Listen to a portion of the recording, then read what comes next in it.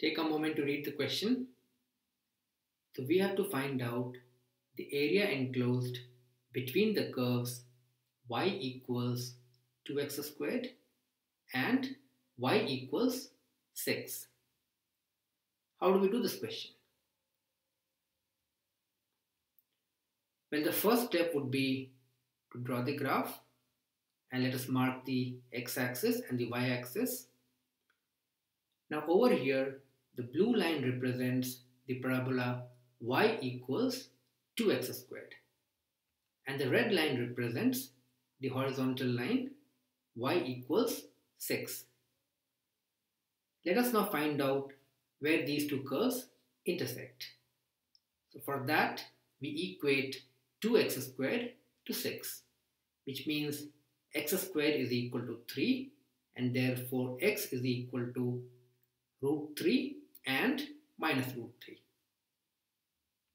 Now let us mark these two points on the graph. So we have these two points now. We can now find the area bounded by these two curves. So the area is given by the integral of 6 minus 2x squared from minus root 3 to plus root 3. Now this is an even function, so we can write it down as twice the integral of 6 minus 2x squared from 0 to root 3. So integrating the function, we get this expression. We have to now plug in the upper limit and the lower limit and evaluate this integral. So we get this expression, which can be simplified further, and we get this. Now 6 root 3 minus 2 root 3 is equal to 4 root 3. Therefore, we can write it down like this.